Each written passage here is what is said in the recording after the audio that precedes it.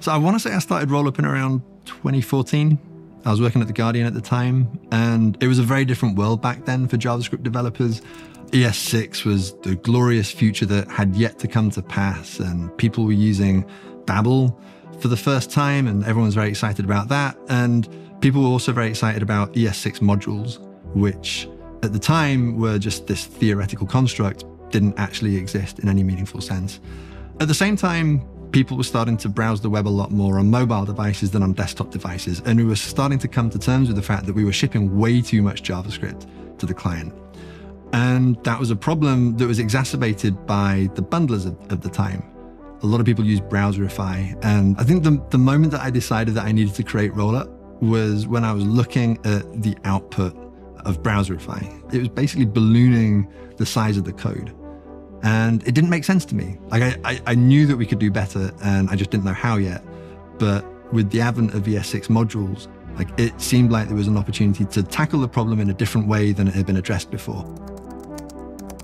It occurred to me that if we can use ES modules, at least as an authoring format, we can't use them in production yet, but we can use them as an authoring format, then we could start to make our libraries much smaller. And so Rollup began in that vein. It was, it was a way to ship less code and to encourage modularity when writing code, but it was really designed with library authors in mind and not application developers. It was deliberately very simple because it had this emphasis on just doing the module bundling part of being a module bundler. People came to say that Webpack is a bundler that is for applications and Rollup is a bundler that is designed for, for libraries. And you can use the two side by side. Like you can use your Rollup bundled libraries in Webpack. Like, you know, Vue was a very prominent library that was bundled with Rollup. D3 was another one that was bundled with Rollup. And then people would use those libraries in applications that were being bundled with Webpack. I definitely wouldn't say that Rollup was an overnight success. It did have some proponents early on. Mike Bostock, the creator of D3, was someone who gave the project a very big boost in its early days, both by making contributions to it and also, you know, indirectly evangelizing it through its use in D3. But it kind of trundled along, just kind of doing its thing for some years. But over time, more people started to see the benefits of, of using this approach to module bundling.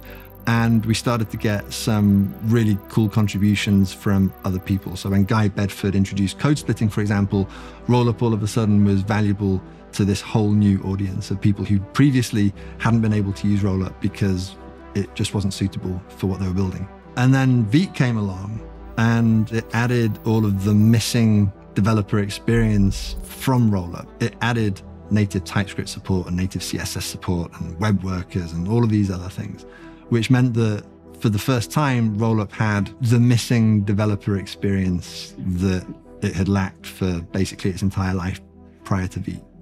And that's where Rollup was born.